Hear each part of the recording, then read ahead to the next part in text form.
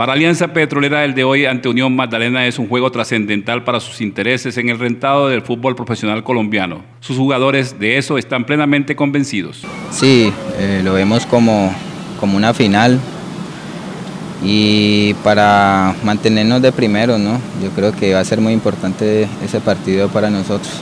Bueno, feliz y dale gracias a Dios por este presente nos lo propusimos y nos los han regalado. Es un gran equipo y creo que hay que afrontarlo así. Llevamos pensando en que todos los partidos son finales y las finales hay que trabajarlas y prepararlas. No creo que este equipo piensa que no hay techo, tenemos que seguir luchando y pensando partido a partido. Ya miramos cuando terminen las fechas, cómo, cómo terminamos. Es un partido que ser muy inteligente, es un partido cerrado por la forma de juego de ellos, pero que ser, trabajarlo y tener mucho el balón aquí en la casa.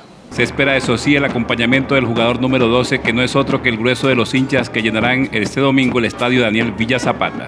Eh, lamentablemente los resultados antes no se daban, hoy se están dando, creo que es eh, fruto del trabajo, de la paciencia, de, bueno, de todo un conjunto de, cosas a nivel grupal que se han vivido y que hoy nos permiten estar fuertes, ¿no? Eh, ser solidarios dentro de la cancha, ser sólidos y bueno, estamos disfrutándolo, pero a la vez sabiendo que, que no hemos conseguido absolutamente nada, que esto es de, de, seguir y seguir y bueno, esperamos seguir por la misma senda.